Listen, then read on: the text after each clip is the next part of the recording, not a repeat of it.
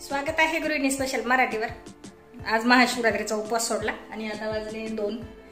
काल संध्याकाळी आईस्क्रीम केलेली होती. ती रेसिपी चॅनलवर जाणार आहे. रेखाच रेसिपी मराठी आहे त्या चॅनलचं ना बऱ्याच कमेंट येतात. आणि सकाळी थोडीशी व्हिडिओसाठी दाखवली व्हिडिओमध्ये आणि आताची तुम्हाला दाखवते कशी झालेली आहे ती. कारण मुलांनी सकाळी एकदा खाल्ली आणि आता परत खायची आहे. अर्धा किलोमध्ये भरपूर झाली होती.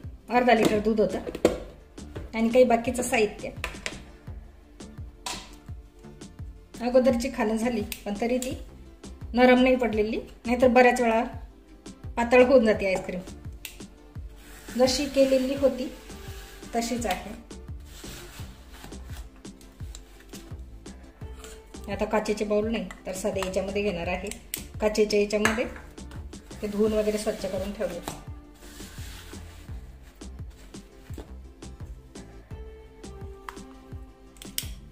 अजूनही जशी आहे तशीच आहे. खूप छान होते. तुम्ही जर पाहायची असेल तुम्हाला तर रेसिपी चॅनलवर जाऊन पाहू शकता तो व्हिडिओ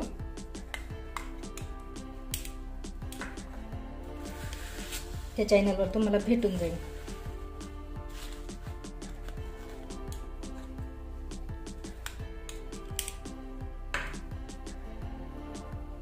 रेसिपी चॅनलवर जे पाहतील त्यांच्या लक्षात येईल. इतकी उरली ही थोडीशी. त्यानंतर त्याच्यामध्ये याने टाकलेले होते तीन. मार्केटमध्ये जर आईस्क्रीम घेतली तर दोनच देतात. आणि आता प्रत्येकीच्यामध्ये चौघांना दोन दोन आलेले आहेत. अगोदर तीन तीन तीन दोन पाच. आणि खर्च किती लागला तर खर्चाचं म्हणाले आला तर अर्धा लिटर दूध आणलं ते बत्तीस रुपयाचं मिळालं. त्यानंतर थोडीशी क्रीम आणि व्हिडिओमध्ये जे दाखवलेलं आहे ते थोडंसं तर खर्चाचा जर विचार केला तर घरची आईस्क्रीम केव्हाही चांगली होते. आणि चवीला काहीही फरक पडत नाही बाहेरची आणि घरची सारखी लागते. फक्त करण्याची प्रोसेस याच पद्धतीने केली तरच. तर आता परत आईस्क्रीम खातो. दिसती पण खूप छान दिसत आहे. आणि अगदी बाहेरच्याच सारखी झाली. मुलांना पण खूप आवडली. आईस्क्रीम खाते आणि आजच्या व्हिडिओची सुरुवात आईस्क्रीमपासूनच केली. हळकुंड फोडून ठेवले. याची करायची आहे आता हळद. बाहेरून जर दळून आणायचे असले तरी एकाचे दोन केले तरी चालतात. पण हे मी बऱ्याचपैकी बारीक केलेले आहे कारण मिक्सरमधून काढायचे आहे. त्यानंतर इकडे चालू आहे चिंचा फोडणं. वर्षभरासाठी चिंचा फोडून ठेवल्या की टेन्शन राहत नाही. आणि तांदूळाचा कट्टा आणलेला आहे काल. काली मूच आहे हा साठ रुपये किलोने मिळाला.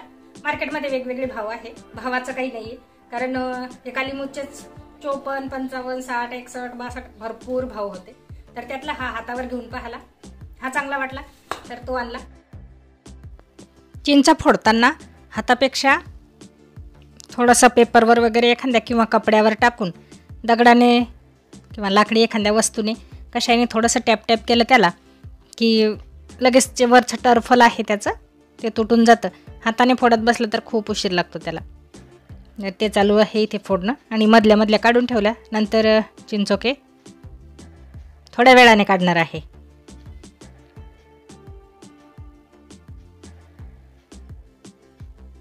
विकत घेतल्यानंतर ह्या उन्हामध्ये नव्हत्या ठेवल्या. घरामध्येच होत्या. आणि जेव्हा घेतल्या तेव्हा वरचे जे टर्फल आहे ते खूप कडक होते. तर दोन तीन दिवस जाऊ दिले आणि आता फोडत आहे.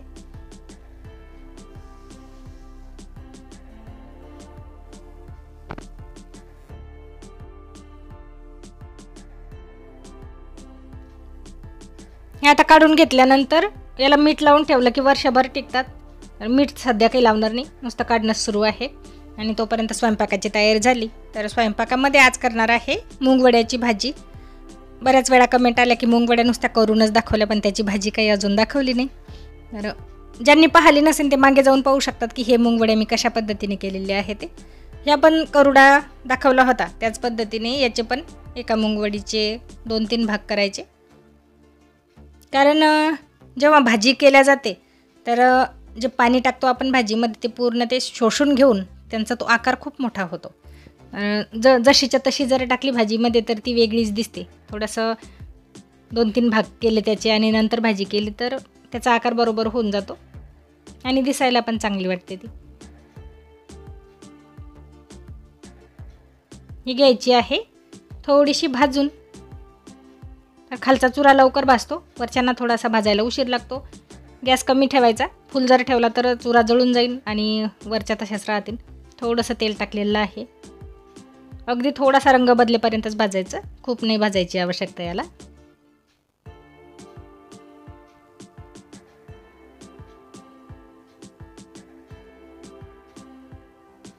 आता ह्या भाजणं झालेल्या आहेत. ह्या ठेवायच्या साईडला. कढई ठेवली आणि याच्यामध्ये टाकणार आहे तेल.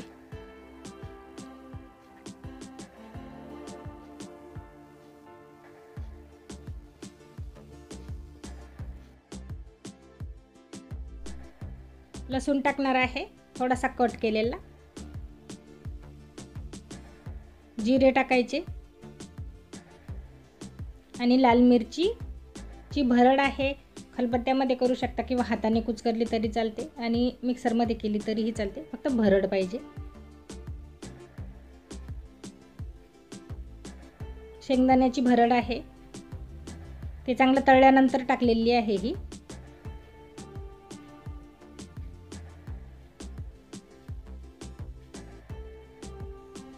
तव्यावर जर अगोदर मुंगवड्या भाजायच्या नसतील तुम्हाला तर जेव्हा ही भरड झाली पूर्ण प्रोसेस हळद टाकली. आणि ही प्रोसेस झाल्यानंतर जेव्हा मुंगवड्या आपण याच्यामध्ये टाकू तेव्हासुद्धा भाजू शकता. की अगोदर भाजायची बऱ्याच वेळा नाही नवीन करणं जे रेसिपी करतो आपण तेव्हा नाही राहत बऱ्याच वेळा आठवण. तर या पद्धतीने सुद्धा भाजू शकता. जेव्हा याच्यामध्ये टाकलं जाते तेव्हा थोडंसं दोन मिनटं आणखी परतवायचं त्याला. तर याही पद्धतीने भाजले जाते आणि अगोदरसुद्धा भाजून तुम्ही ठेवू शकता.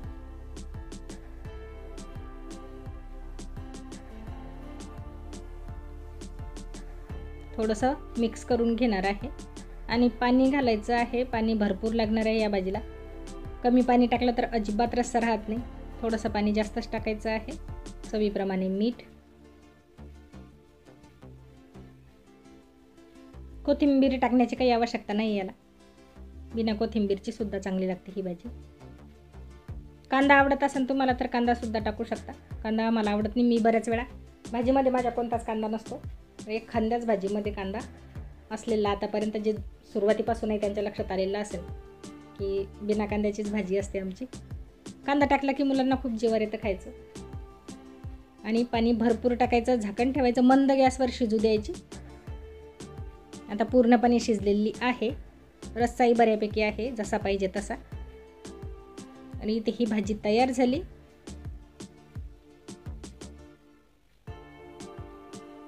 चवीला खूप छान लागते. कोणत्याही मसाला नाही आहे काही नाही काहीच नाही. अगदी साधी साधी भाजी आहे पण टेस्टी लागते. नक्की करून पहा तुम्हालाही आवडेल. भाजी झाली करणं आणि हळकुंड फोडून ठेवलेले होते. ते दळायचे आहे आता. तर ते करणार आहे मी मिक्सरमध्ये बारीक. खूप पिवळे आहेत. सुरुवातीलाच सांगते रंगामध्ये फरक पडू शकतो. कारण रंगाच्या नंतर बऱ्याच कमेंट येतात. मी बऱ्याच वेळा सांगितलेलं सुद्धा आहे की रंग जो आहे तो जसा दिसतो तसा व्हिडिओमध्ये नाही दिसत. थोडंसं बऱ्याच वेळा होऊन जातं. आणि पिवळा रंग तर होतोच. हे मिक्सरमध्ये बारीक करणार आहे. पूर्ण झाल्यानंतर दोन तीन ठिकाणी चेंज करून दाखवीन मी तुम्हाला की याचा रंग थोडाफार कसा दिसतो तुम्हाला ते आता. हे मी सांगू शकत नाही व्हिडिओमध्ये. बऱ्याच वेळा बदलतो रंग कारण जेव्हा मसाला केला तेव्हा मला बरेच कमेंट आल्या की रंग त्याचा थोडा वेगळा दिसत होता. पण तो कॅमेऱ्याचा परिणाम आहे. आता हा रंग लाल दिसत आहे लाल मिरचीच्या पावडरसारखा तर लाल मिरचीची पावडर नाही आहे ही. हळकुंडाचा जसा रंग होता तसाच आहे. हळदीचा जसा रंग असतो तसाच रंग आहे. आणि हे तेली हळकुंड आहे. त्याच्यामुळे त्याची हळद अशी चोपडी येते. खूप अगदी अर्ध्या चमच्यापेक्षा कमी जरी टाकले तरी भाजीला रंग छान येतो याचा.